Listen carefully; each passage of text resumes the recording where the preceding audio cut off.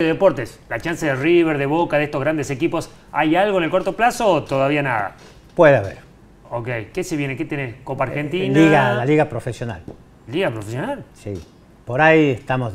¿Por qué? ¿Cómo sería? Contame algo. Eh, una vez que clasifican los cuatro de cada zona, empiezan los playoffs. Sí.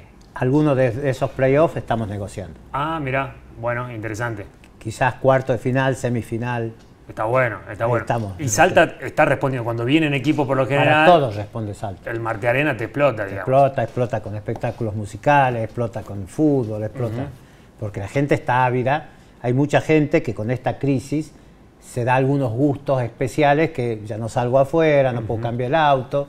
Entonces me doy el gusto viendo un espectáculo que me gusta, que me satisface, eh, salgo a comer. Bueno, todas esas cosas hoy alimentan la posibilidad de traer un espectáculo de esos niveles. Y en un minuto, ¿algún desafío que te quede como secretario de Deportes? Porque lo que tenemos entendido es que gobernador renueva mandato en diciembre. Algunos cambios van a venir por la data que manejamos, después vos me lo confirmás o no, si querés.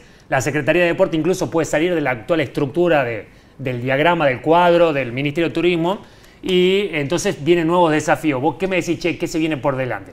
A ver, primero no te puedo confirmar nada porque no hablé absolutamente nada con el gobernador. Seguramente llegada el momento se charlará. Yo lo que eh, observo, no para eh, Sergio Chiván, para el deporte de Salta necesita este, un nivel de acción mucho más directa y concreta. Eh, hoy un expediente de una ayuda pasa por 18 escritorios y por tres ministros. ¿Ayuda de qué, por ejemplo? 10 mil pesos para que te vayas a competir a Campo Quijano o un millón para que te vayas a competir a Europa. Ok pasa por 18 escritorios y por tres ministros.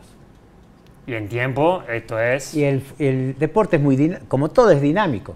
Mañana la chica Mardone puede salir campeón y clasificar para un torneo que ayer no tenía y se tiene que ir en cinco días. Y bueno, a nosotros nos, nos seduce ayudar la alta competencia también. Tenemos 40 y 60 entre lo social y lo federado. Cuando vos ayudás a una deportista de, deportista de elite, llámese un Kevin Benavides, un salteño, digamos, o la chica Mardone, estás desparramando hacia abajo un elemento de motivación tremendo que te mete más chico en el deporte. Por eso lo traemos a Meolans, por eso traemos River, por eso traemos todas las grandes figuras colectivas o individuales para que se incentiven los chicos a entrar en la práctica del deporte. Entonces, si eso es más ágil, seguramente tendremos un camino de mejor solución.